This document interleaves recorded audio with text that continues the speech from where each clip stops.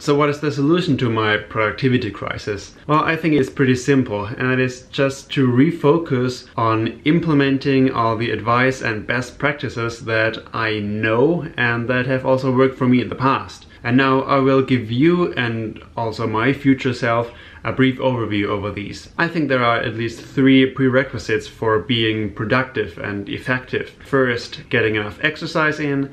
Second, having a good diet. And third, getting enough sleep. And another thing that is generally good for productivity, but also for various other things in life, is to meditate.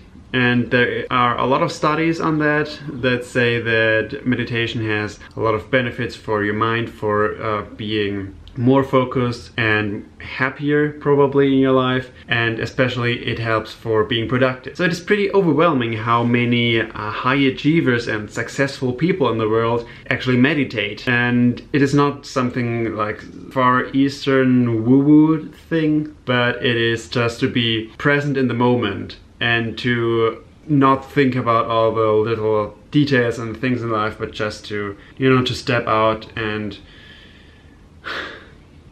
give yourself a little headspace. So the hardest part about meditation is to actually do it on a consistent basis. So most people who try it fail at that. So I think the first time that I tried it was about a year ago, but um, I couldn't make it consistently. And now a few weeks ago I started again doing it maybe five out of seven days a week. And yeah, it's probably has a positive effect on my life. But now to the actual tips or rules for how to be effective and more productive. The first one is don't try to do all the things faster, but only do the right things fast enough. So imagine you could only achieve one to three things in one day. What would these things be? And then focus on only achieving these three things and don't care about the other things that you have to do or you think you have to do. And therefore it is very helpful to have a long-term list of goals or things that you want to achieve in maybe the next year or a couple months uh, because it is very easy to lose them out of sight in your day-to-day -day business. So by refocusing on them, you make sure that you spend your time only on those things that really matter.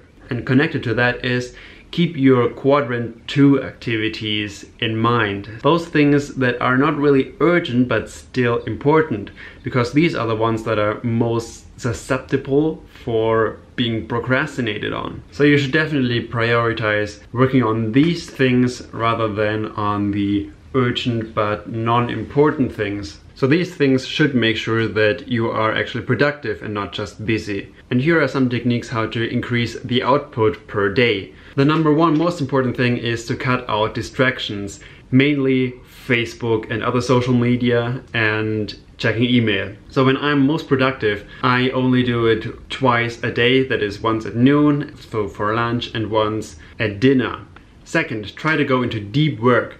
That means focusing on your task at hand for a maximum of 90 minutes and be just immersed in that task. And then, you know, have 10 to 15 minutes of breaks in between. Also, don't multitask. Third, the most powerful tool or technique against procrastination is to split up your huge and insurmountable tasks into small chunks so that you can just start it so starting a task is most important and don't focus on finishing it, just starting. Fourth is something that I haven't done in the past but I think will benefit me. Be accountable. So write down what you did during the day and how long it took you. So in the end you can go back and say, hmm, I wasn't actually that unproductive or yeah, I know exactly where I lost my time and where I was busy instead of effective. Fifth, Use the Parkinson's law to your advantage. Parkinson's law is that a task requires always exactly that amount of time that you allocate to it. So if you have a day for writing one page, then it will take a day. If you say, okay, I only have a half an hour, then you will do it in half an hour. So you can use that to your advantage if you set yourself deadlines during the day and week, whatever, that are pretty strict. But you need to take your own deadlines and goals seriously because if you don't, you break your own promises. And after a while, you don't trust yourself anymore. So these deadlines or goals become meaningless. So what that means practically is don't set the deadlines too strict and don't put too many items on your to-do list. So that feeds back to focusing on only one to three things during the day that are your number one priority.